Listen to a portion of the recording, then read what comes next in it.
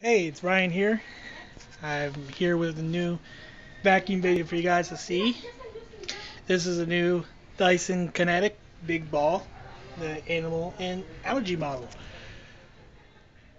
What makes the Dyson Cinetic different from other brands, maybe like Shark or some of the others other brands that may use dual or multi-cyclonic designs, is that all others generally lose the airflow or suction power as they fill up that well technically they don't really lose suction power they do lose airflow lose cleaning power. The Cinetic claims that it doesn't lose cleaning power. Now if you see here this is what it says and I apologize for being shaky. I do not have a tripod but here let me read this to you and again I apologize if my I'm a little bit shaky. I'm just using a cheap ass camera phone. It says historically manufacturers based no loss of suction claims on IEC 60312-1 clause 5.9. Don't ask me what that is because I have no clue. This suction power can, test can be completed before a vacuum's bin is full. Dyson tests vacuums containing Dyson Cinetic Science to the IEC blah blah blah clause blah blah standard and then repeat the test hundreds of times consecutively, amounting to equivalent of 10 years worth of test dust to ensure they maintain constant suction, or, well, proper, technically airflow. So basically, what Dyson is claiming, and I technically I believe them, is that their vacuum uses a, a kind of cyclonic filtration technology that's so efficient that it doesn't need pre-filters. How it works is these cyclones are so small, they have a much stronger velocity or they spin the dirt out much more quicker than say dual cyclonic or multi-cyclonic machines or even vacuums like that DC65 up there. To prevent the, the little cyclones from clogging since they're so tiny, they use little oscillating rubber tips. Um, basically it oscillates, shake, uh, vibrates, essentially kind of vibrates dirt out of the cyclones, and so that way they can maintain constant efficiency, and so that we can maintain constant airflow. And they call it suction. I'm calling airflow because that's technically the proper term for it.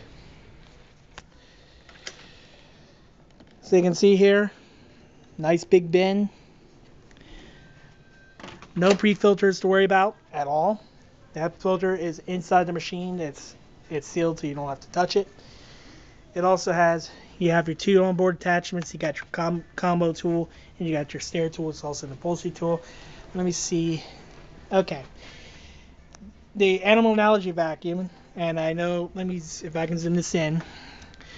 I know some of you might not be able to read it, or maybe it's so shaky. I'm going to try to hold it as best I can. It says accessories include tangle-free turbine tool, combo tool, stair tool, reach under tool, carbon fiber dust, soft dusting brush, mattress tool, multi-angle brush, and tool bag. I think the reach under tool is kind of like a big, like it's almost like a crevice tool, but it's more flexible, so you can reach under fridges and other really tight spots where you can't reach with a crevice tool. Shark kind of something, kind of something similar. They call it under appliance wand, but pretty similar. I'll, I'll, be doing more videos. I'll definitely do a video on the powered lift away. Not really a comparison, but just showing, you know, showing its features, you know, in the near future. Oh, as you can see, the wand design is similar to what is used on been whoop, what's been used on the DC41 first introduced. Nice long wand. Can reach up or reach down, get into hard to reach areas or surfaces. And, and let me put my foot phone down.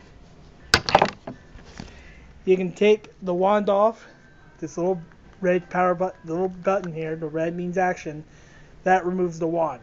And so you can put on your attachments directly. Let me show you an example.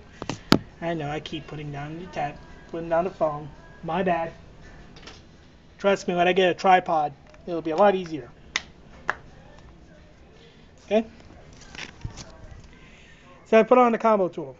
Notice it's locked on the, the cuff. It's not like a little fit-on cuff. It's a lock cuff. That way the attachment doesn't come off. This is great for removing pet hair. Plus, you got a tangle-free turbine tool and other attachments that are made to help combat pet hair. Let me put my phone down. Here, I'll do. Here we go. I'll do it like this.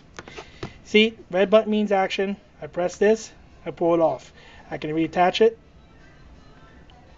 like so. Clicks into place like that. I can take it off.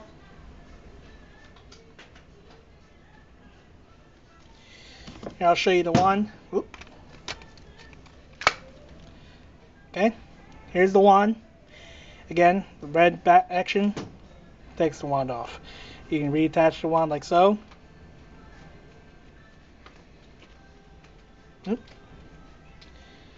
There we go.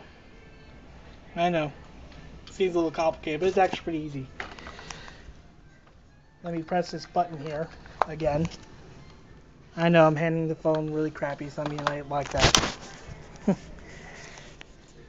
there we go. So the wand's back in place. You can't really misplace the wand since it's pretty much part of the vacuum.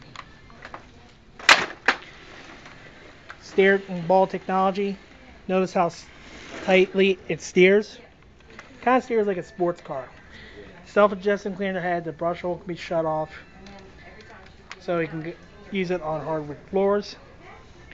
You're getting a five-year warranty with this. Five years. That's a pretty long time for a vacuum. Or at least pretty good warranty for a vacuum cleaner. And plus, you get, if your vacuum breaks down, you can get uh, customer support. They have excellent customer support.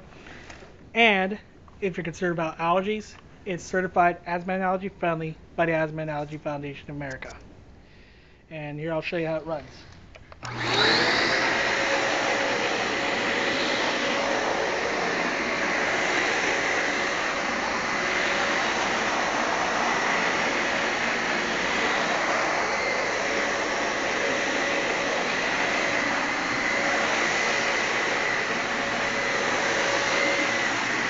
Pick something up.